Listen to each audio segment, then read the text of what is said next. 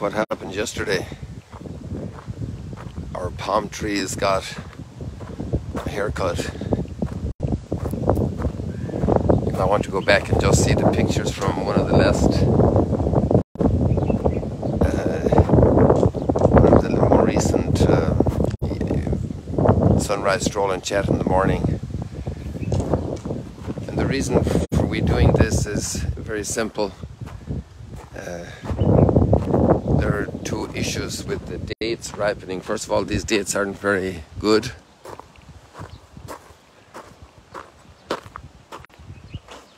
And they draw the bats. And the second big reason, besides drawing the bats, which bothers some tourists and pilgrims, is they fall on the pathways. And it's inevitable with so many and so much traffic here with people that people step on them and they're very sticky. So they end up coming into Duc In Altum and the cleaning process is so difficult. So the best thing is just cut them early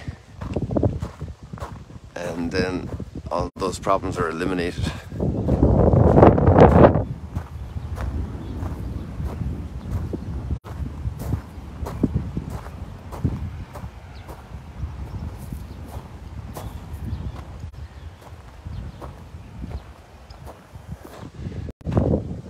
So today we have a very special set of readings.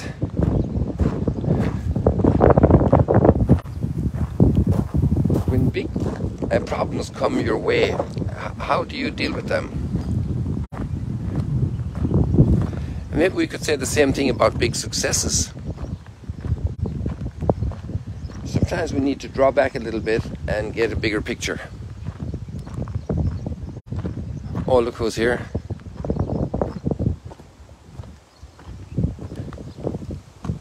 Can you tell already from the picture?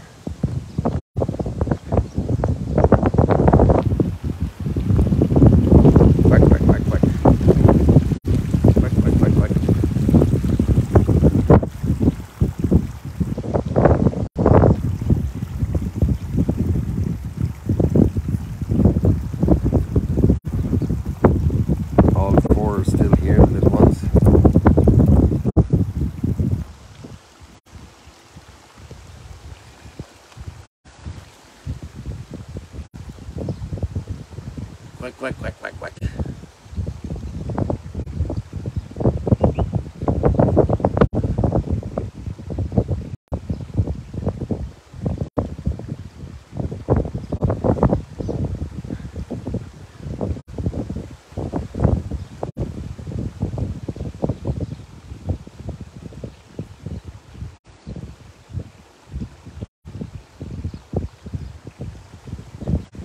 I wanted to get them lined sun, but it's difficult because the the ground is sloping and they're lying lower than I am.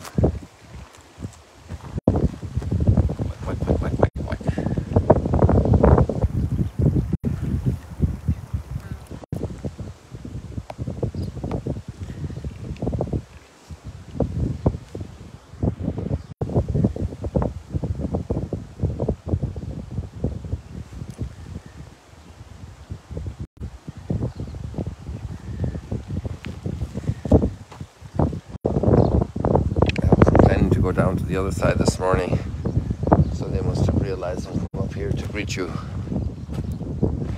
So, what do you do with big problems when you're or big successes? It's important to get the big picture, to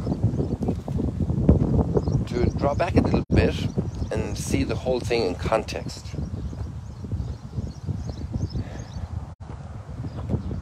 And what we have today is an amazing perspective. We have a nice view of the lake here, but if we were to go up on top of Mount Arbel, we'd see it all in a much more complete perspective.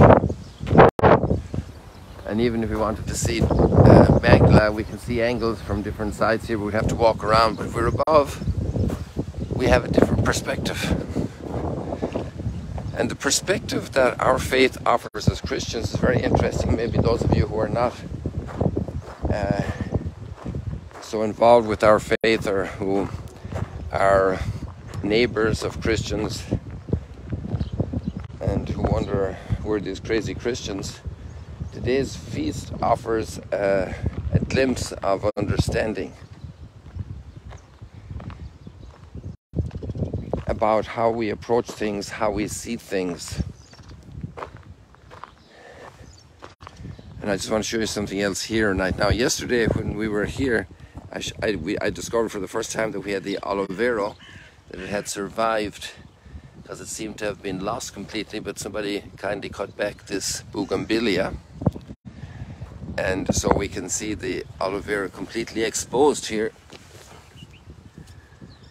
And you know that aloe vera is a very, very uh, healthy, uh, it's a, a, great source of health. It has extraordinary qualities for healing for the immune system. It's amazing if we only knew all the secrets of nature in that regard, how many good things there are.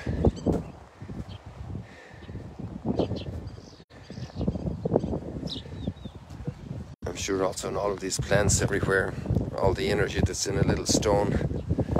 If we were to do nuclear fusion, like I was dreaming about when I was a teenager.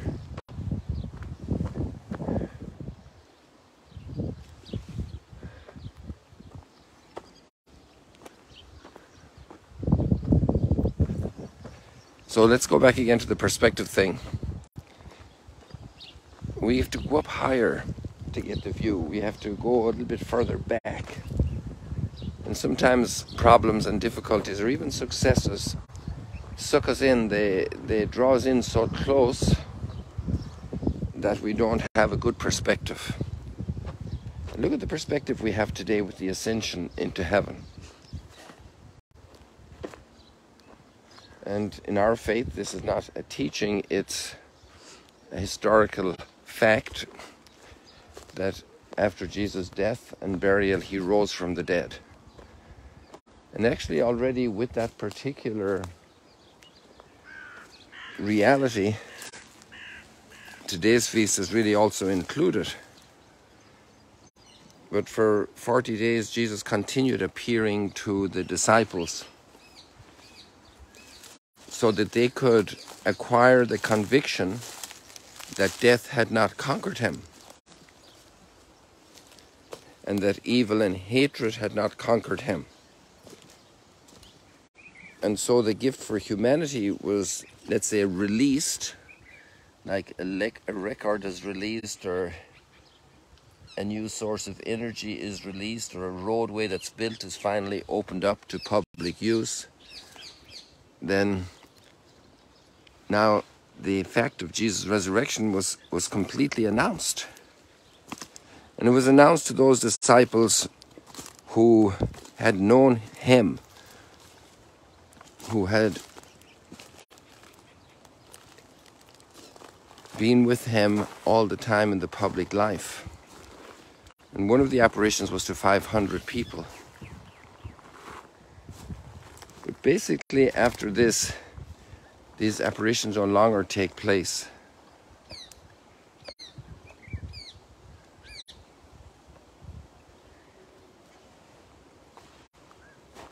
You guys see something here behind the rocks?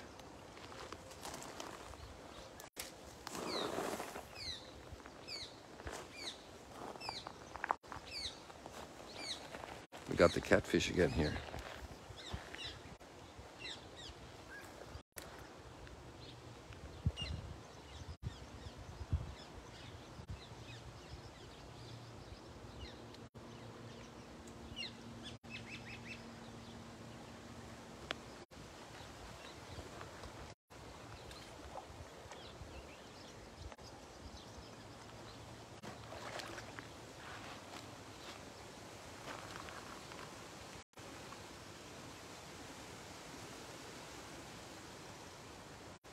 There's a big catfish right there between those three rocks. Now you can see him for yourself.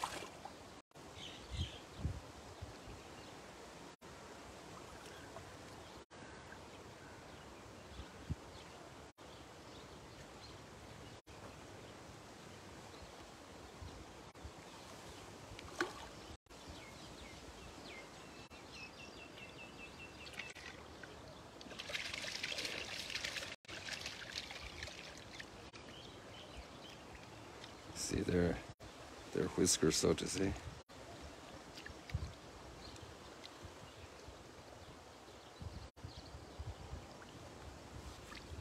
This guy's about a foot away from my toes. Come on, where did I get him? Oh, there he is.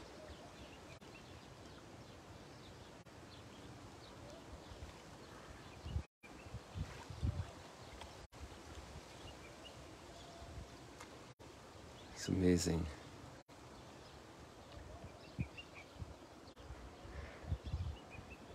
I have a temptation to pull down and grab his tail so you can see him closer.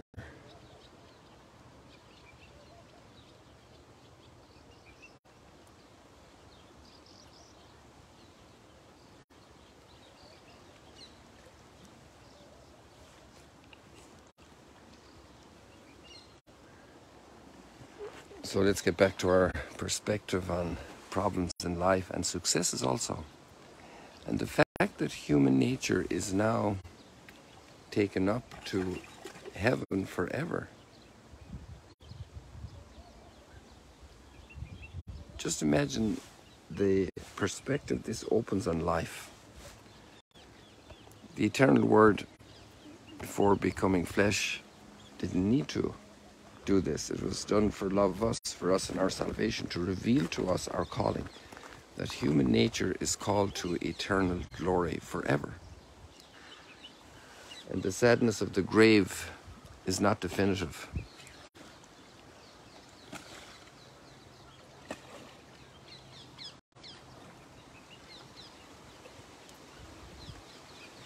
The sadness of the grave is not definitive.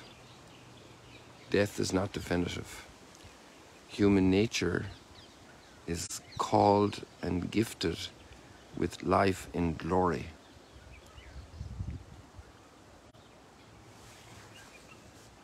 And this is the great teaching of the Ascension. It marks the end of the frequent appearances that Jesus made to his community of faithful followers. And there are little exceptions, like the appearance to Paul, Saul, and then basically that's it, except then for other private apparitions that the church respects the accounts of those who give them to us, but they don't, uh, they're not required faith because we already have that through the teaching on the resurrection and the ascension in the New Testament. Is amazing because we're not destined to lie among the rocks on the earth and just reintegrate into the dust of the earth. You are dust, and unto dust you shall return. And this means all the big successes we have as well. We could always ask, what are big successes?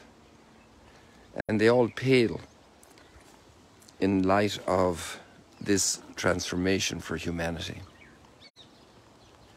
And that's really one of the major motors of Christian attitude. So if you have neighbors who are Christians, this is the big parameter of their lives.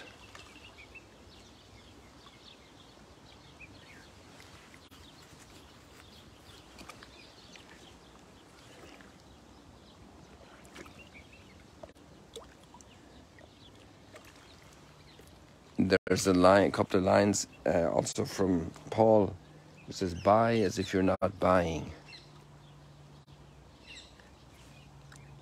Have things as if you don't have them.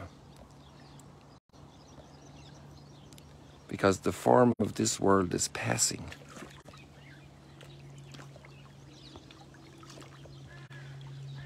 The form of this world is passing. We get very attached to some things, to some conditions. How long does it take for Olympic glory to pass? Tell me the names of 10 Olympic medalists from the last Olympics, and that's only recently. Tell me the name of five Olympic medalists from 20 odd years ago. The glory passes quickly in this world, but we're destined for eternal glory, body and soul. And this deeply affects our whole attitude to life.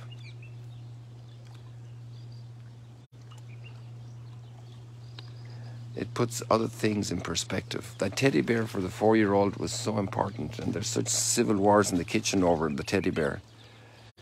But five or six years later, maybe not even that long, it's of zero interest.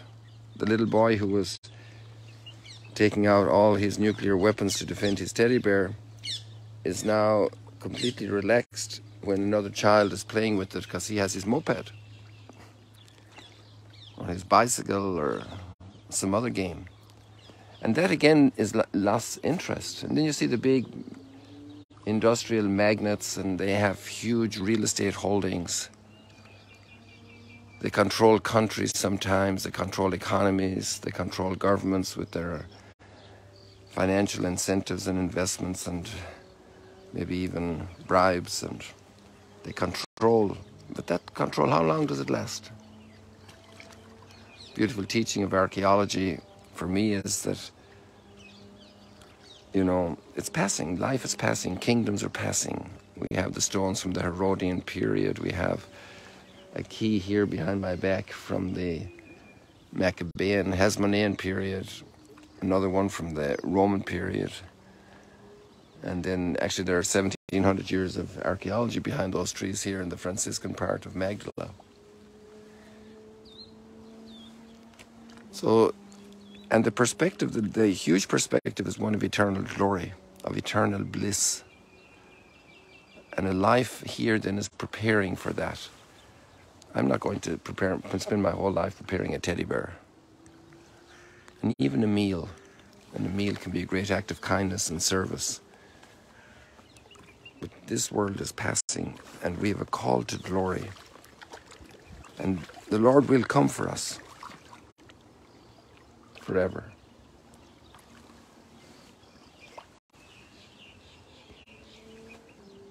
God bless you, people. Look up, seek the things that are above.